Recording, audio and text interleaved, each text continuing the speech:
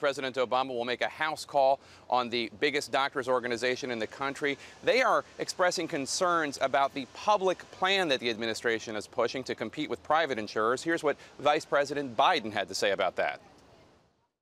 We've made it clear that we think there should be a public plan. So the question is, what is the public plan? Is the public plan just just Medicare? Is that the public plan that you add everybody on to Medicare who is going to need help, or is a public plan something further down the continuum?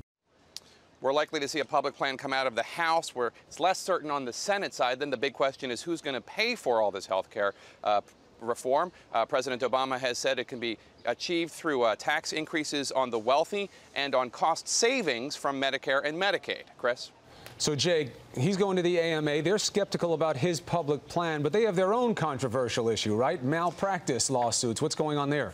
Well, doctors say that the reason that costs are so high is because they conduct so many unnecessary tests, referrals, hospital stays, and that's because they say they practice defensive medicine because of fear of malpractice lawsuits, and they're going to be looking for President Obama to give a little on that issue and make malpractice reform at least part of the health care conversation.